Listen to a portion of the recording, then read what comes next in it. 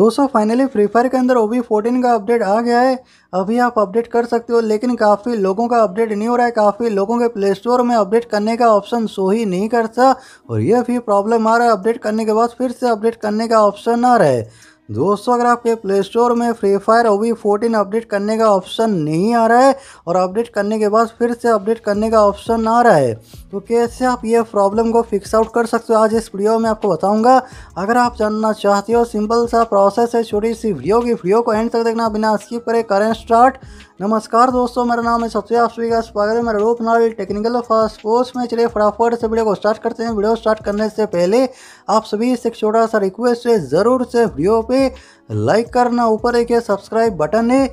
Subscribe button के ऊपर press करके ज़रूर से चैनल को सब्सक्राइब कर देना। साइड में ये छोटा सा बेल आइकॉन है। बेल आइकॉन के ऊपर प्रेस करके ऑल पे सेट करना ना भूलें।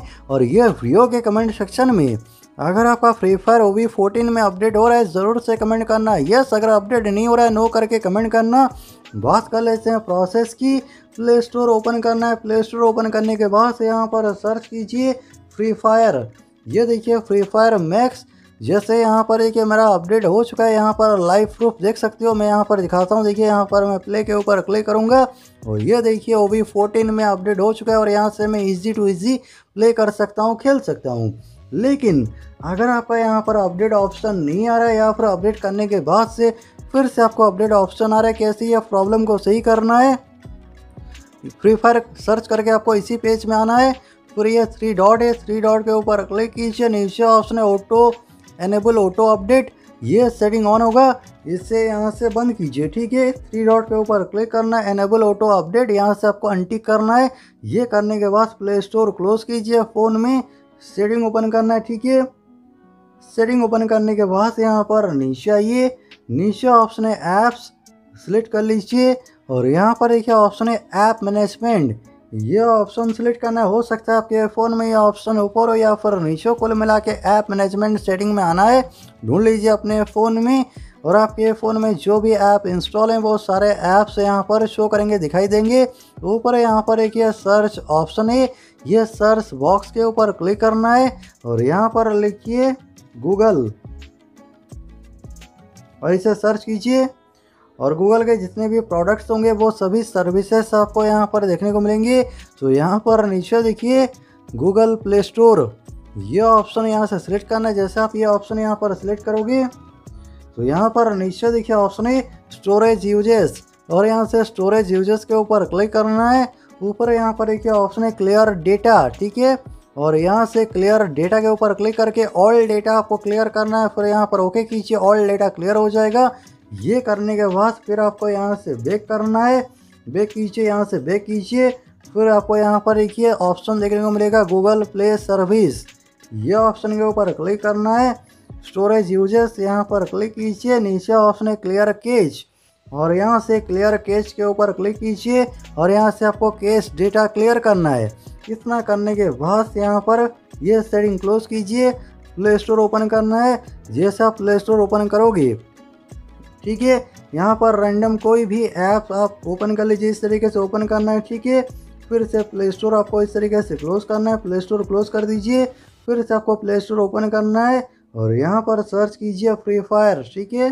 चलिए मैं सर्च कर लेता हूँ फ्री फायर और ये देखिए फ्री फायर मैक्स ठीक है? अभी आपको यहाँ पर डाउनलोड ऑप्शन मिल जाएगा, ठीक है? अपडेट ऑप्शन मिल जाएगा। अगर फिर भी यहाँ पर अपडेट ऑप्शन आपको नहीं मिला या फिर कोई भी दिक्कत आ रहा है तो यहाँ से आपको क्या करना है? कोई भी ब्राउज़र ओपन करना है। ब्राउज़र ओपन करने के बाद यहाँ पर सर्च कीजिए टेक्निकल फास्ट पोस्ट जो मेरा वेबसाइट है। यहाँ पर सर्च करना है, क्या करना है? www.technicalfastpost.in ये वेबसाइट देख सकते हो।